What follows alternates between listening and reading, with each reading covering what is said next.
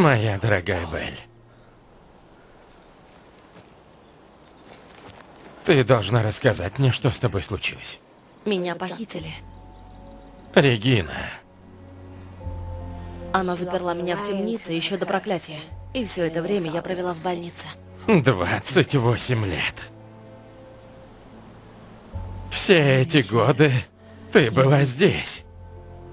Живая. Ты это только поэтому сделал? Зачем тебе волшебство? Для мести? Нет, нет. Но вполне может пригодиться. Нет. Нет. Я не могу этого так оставить, Белли. Я этого так не оставлю. Слушай. Пообещай мне.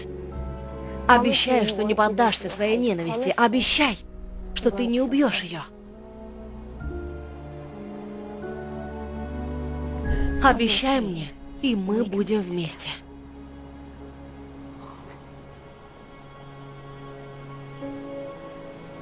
Моя. Я обещаю.